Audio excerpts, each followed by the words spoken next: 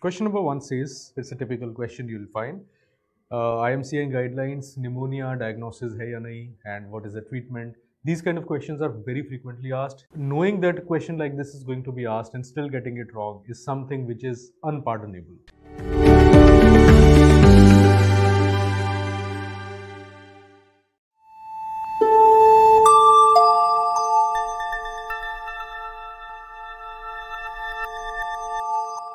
Question number one says it's a typical question you'll find.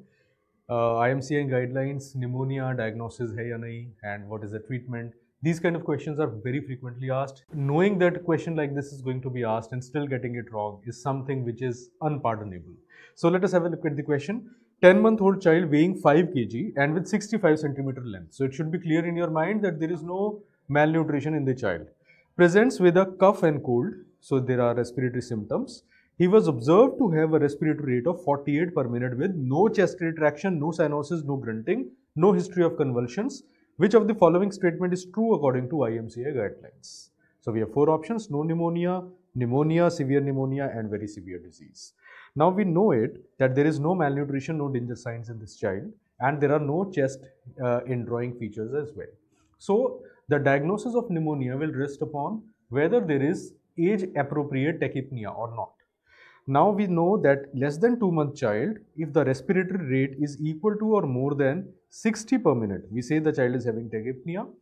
If 2 to 12 month child, the respiratory rate is equal to or more than 50 per minute, then there is tachypnea and above 12 month till 5 years of age, if the respiratory rate is equal to or more than 40 per minute, then the child is having tachypnea.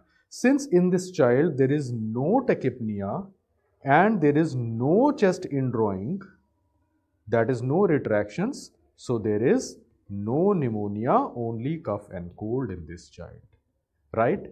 In case, remember, whenever the child is having either tachypnea or chest indrawing, the child will be labeled as compatible with pneumonia. It is also if the chest indrawing is present and or, the word here is and or. In case the chest indrawing alone is present, we say chest indrawing pneumonia. These are the children who will require oral antibiotics like oral amoxicillin. And in case the child is having any respiratory feature along with danger sign, so any danger signs are present, then the child will be labeled as severe pneumonia. Severe pneumonia is also called as very severe disease. There is no such entity as very severe pneumonia and these are the children who will require parenteral antibiotics.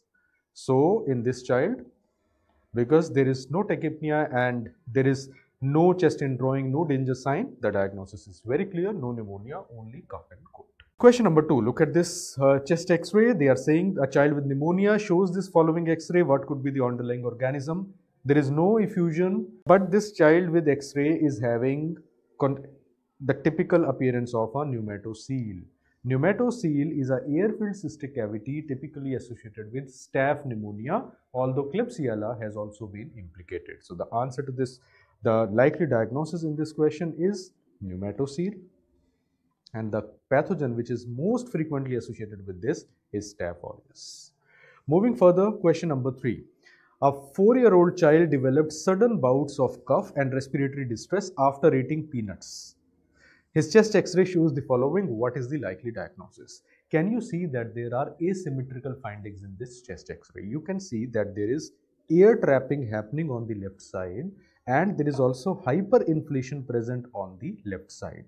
So this is a child where there is obstructive emphysema developing on the left side. This happens because of ball valve mechanism. The peanut, normally it has a tendency to go on the right side of the bronchus because it is shorter, wider and uh, more in line with the main bronchus. But many times it can go on the left side as well. And uh, whatever side it is going, it can produce multiple complications. It can be asymptomatic. It can cause um, partial collapse, it can act as a ball valve mechanism, allowing air to move inside but trapping air during expiration. With each progressive breath, hyperinflation happens. The hyperinflation, collapse consolidation, all these findings are typically asymmetrical in nature. History of acute onset of symptoms, history of peanut consumption or parents noticing child ingesting something along with these kind of findings think of foreign body aspiration as the likely answer. And here the x-ray is very clearly showing obstructive emphysema on this side. That is obstructive emphysema on the left side